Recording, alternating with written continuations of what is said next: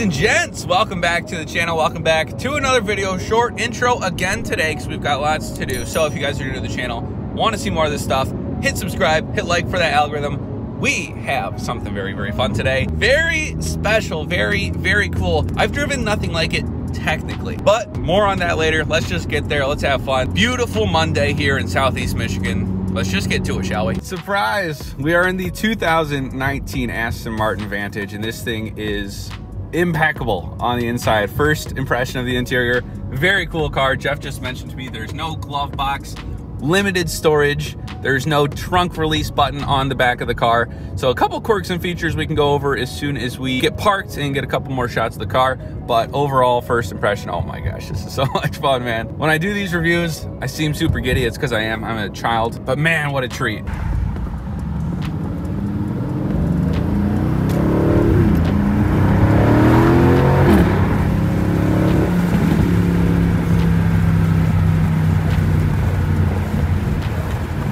All right, let's let the car get a little warm. gonna do a loop around and come back, I think, into this parking lot.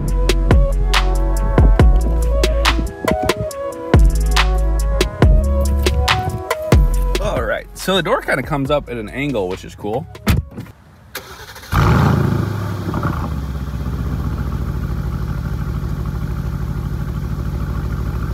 It is a bit windy outside, so I wanted to hop in and explain some of the interior here first. When you hop in, the first thing you notice is all the Alcantara right here.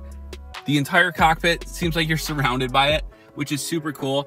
Did mention earlier, but there's not actually a glove box in this car. All Alcantara as far as you can see from the driver's perspective.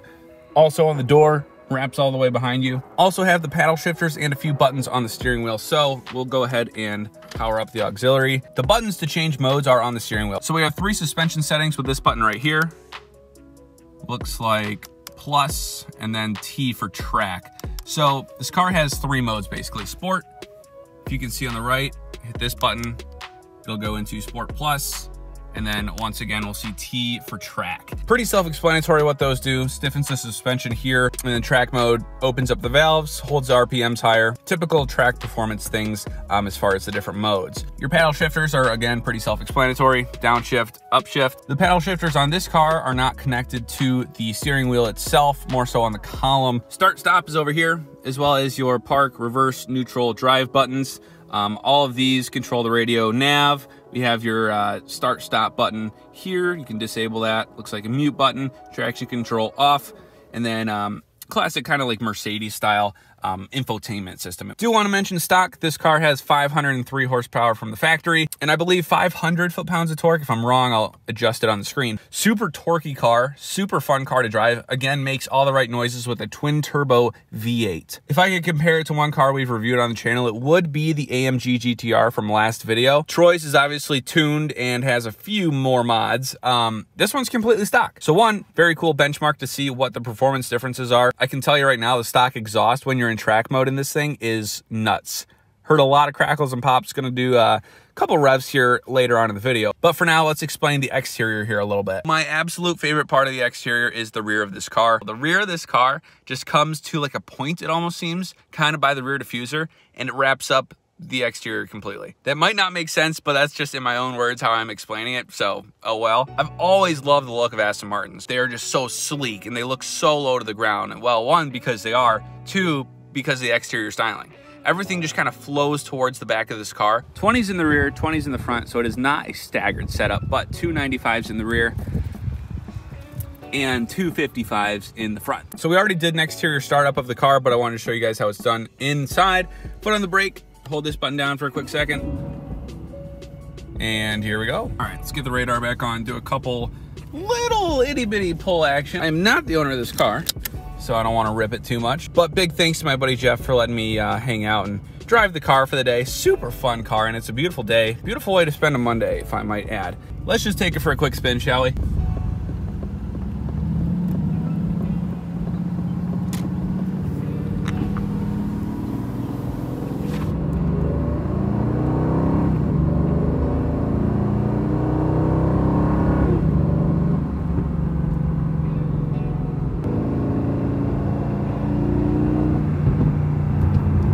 Hear those crackles and pops, everything right with the V8 twin turbo noises, just like in the AMG GTR. This is the stock motor, same exact thing under the hood. Guess we can go to maybe a little secluded location, get some exhaust clips. So I will look for a spot right now and uh, we'll just make our way there. Pretty easy cruise.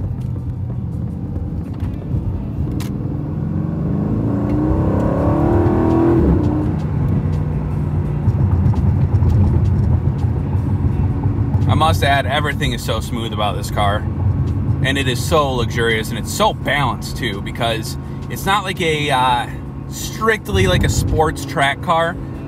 You have comfort, you have luxury all in the interior and it's so, so smooth. So even if we take ourselves out of track mode here, go back into sport mode, which is the comfiest setting in this car, which is funny. it feels like a limo, like you're just driving in luxury.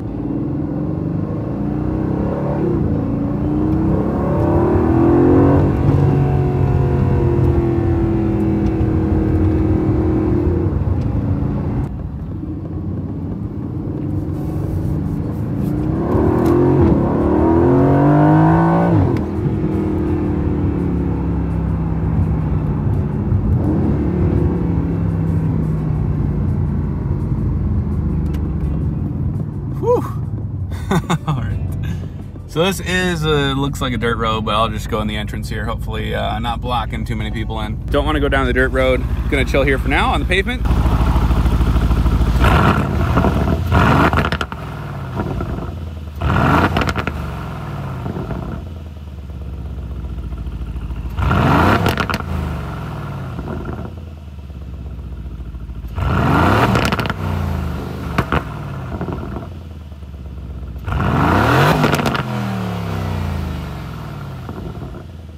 All right, quick sound check. Not too bad.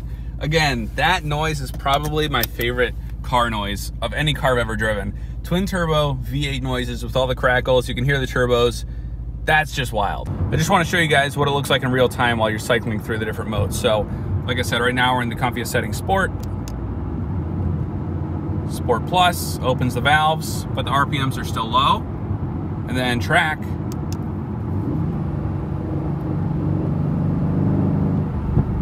your RPMs go up, you hear some snap, crackle, and pop action in the back, and the whole tachometer turns red, which is super cool.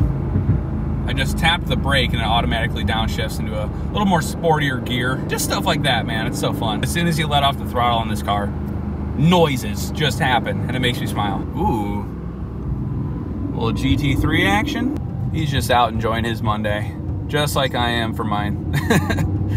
Nothing can beat it, man. There are people at work right now. 11:15, they're just ready for their lunch break, can't wait. And then there's just me. And I'm super, super thankful to be in this position where I have such generous friends that allow me to do this type of stuff. It's just so fun. Sometimes it's good to just reflect and be thankful for uh, the opportunities that you have. Driving cool cars, having super great friends, and the ability on a beautiful Monday to be out and about, just exploring, having fun, and driving. My favorite things. Wow, that's fun. Oh my goodness, I'm gonna turn that down for a second. Ladies and gents, that is just different. That is exciting, it is luxurious, it's comfortable, it is fast, it is quick.